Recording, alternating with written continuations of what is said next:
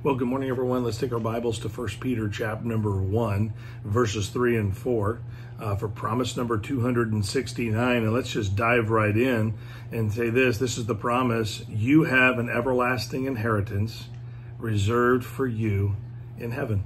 We have a an everlasting inheritance reserved for us in heaven. First uh, Peter 1, 3 and 4 says this, says, Blessed be the God and Father of the Lord Jesus Christ, which according to his abundant mercy hath begotten us again unto a lively hope by the resurrection of Jesus Christ from the dead, to an inheritance incorruptible and undefiled, and that fadeth not away, reserved in heaven for you. Now, obviously, this is for the believer. And uh, yesterday we, we talked about the reality that many people who claim uh, to believe don't desire to please God as their primary motivation uh, for life. Uh, most are still living for the same things they did before they even were introduced to Jesus. And so they're really busy. They've got a lot going on because they're still trying to accomplish everything this world tells us we're supposed to accomplish to be successful, to matter, to, to have a genuine purpose. And so we're chasing our dreams and, and trying to get trophies and all this stuff in this world that's all going to burn. But we have an inheritance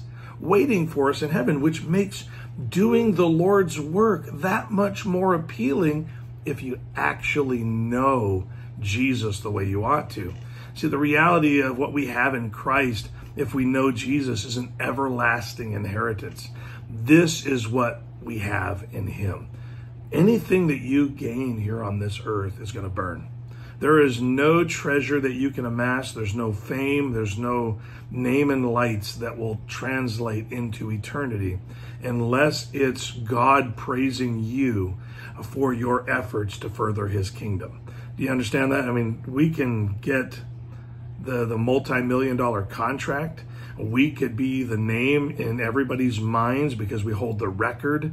Uh, we could be all these various things and still have made really no impact on the world for the cause of Christ.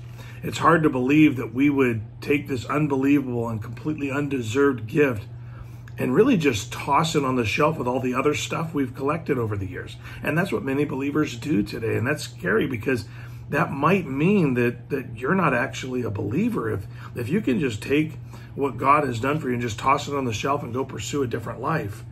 That might mean that you've never really met the, the God of the universe. I mean, the stuff that he's saying that we have in him and that what genuine believers do. See, see the hope we have is supposed to breathe an excited hope into uh, into us as we live out our new life, not as we continue to pursue the old life with just some soap on it to clean it up a little bit. We have a whole different line of thinking. We have a whole different uh, opportunity to live in a different way because we don't have to prove ourselves to people here. We live our lives for Him, the one that's given us an inheritance in Him that this world's decay cannot touch. It's there waiting for us. And so the hope we have is supposed to breathe an excited hope into us. See, the high price Jesus paid for us, if we really do have salvation, should inspire a whole new way of living, one that centers on Jesus instead of us. So you just have to ask yourself this question: Is my are my pursuits in life about me? Are they about human accomplishment and achievement? Do they somehow make me feel important or better? Then, then, then you have to ask yourself if that's what you're pursuing. You can't pursue uh, living for Christ at the same time you're pursuing living for yourself. And so ask yourself those questions Am I living for me or am I living for Him? And you can tell by what you pursue and who's getting the praise and glory for the accomplishments. And this is really hard for people to believe. And I, I think that oftentimes I get tuned out because I feel like a broken record on this subject of actually choosing to live for Christ. The Bible tells us in Matthew 6:33 that we're to seek first the kingdom of God and his righteousness and then all these things will be added unto us. We add all the things and then expect God to bless it. Let's reverse that and see what kind of impact it makes on our lives and on the lives of those we care about. Have a great day.